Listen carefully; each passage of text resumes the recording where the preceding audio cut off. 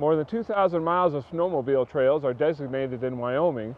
Responsibility for managing the trail system lies with the Wyoming State Trails Program.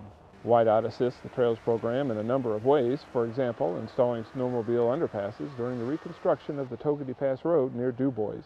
The recreational users can cross the highway safely without having to intervene on highway traffic, and those, those underpassings have worked out great. Several parking lots for snowmobilers were added. The local WYDOT crew coordinates with the Trails Program to maintain access. WYDOT's been busy plowing the Togwotee Pass. We've been busy plowing the parking lots, and the snowmobilers have been busy having lots of fun. So.